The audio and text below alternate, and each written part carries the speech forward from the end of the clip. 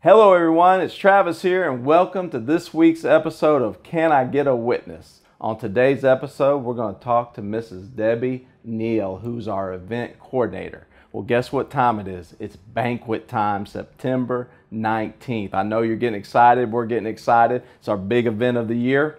So, on today's episode, we're going to go see Miss Debbie. She's going to tell us about the silent auction, all those wonderful items. She's going to tell us about the live auction. I heard we have a helmet from a certain team, maybe some guitars for some certain rock groups, and a wonderful trip.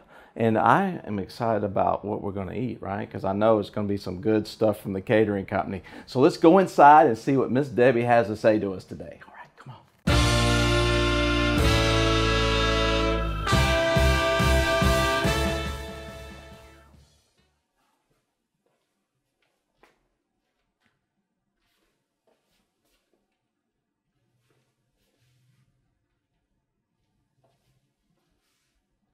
Where's she at? I don't know.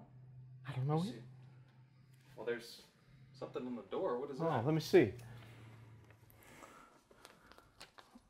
Dear Mike and Travis, I'm gone because I told you I didn't want to be on camera.